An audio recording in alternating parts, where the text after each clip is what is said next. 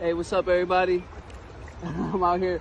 I'm out here fishing for trout, and I caught a fucking channel catfish. We're almost got him up. Let me show you guys this. This is hilarious.